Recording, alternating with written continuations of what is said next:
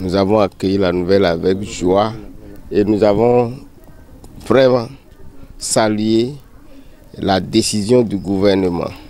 Cette décision qui tient vraiment comme une promesse, puisque ça fait partie, je vais dire, des déclarations du chef de l'État et même à chaque instant que nous prenons contact avec lui, il dit n'a pas oublié sa promesse. Mais nous connaissons très bien le chef de l'État. Euh, je vous assure, il a prouvé encore combien de fois il est sérieux. Il est sérieux, il est un homme de principe. Et dans sa rigueur, nous avons toujours constaté l'effectivité des choses. C'est une très belle chose si cette route était réalisée. Et c'est vrai, euh, il a eu à dire qu'il va payer la dot. C'est le début du paiement de la dot. Et c'est bien annoncé. Cela veut dire que le chef de l'État a un plan triennal 2023, 2024, 2025 pour achever une bonne partie de son programme. Nous saluons la démarche, nous saluons la décision et ensemble, nous sommes tenus de l'accompagner.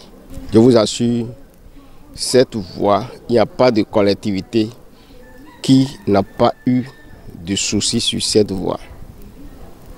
Il n'y a pas de famille qui n'a pas eu de soucis sur cette voie. Les accidents de la voie publique sont très nombreux sur cette voie et l'état de la voie, ça laisse des fois à désirer. Ça fait de telle sorte que c'est difficile d'y accéder et d'emprunter même. Les difficultés, c'est par rapport au commerce. C'est une voie inter-État.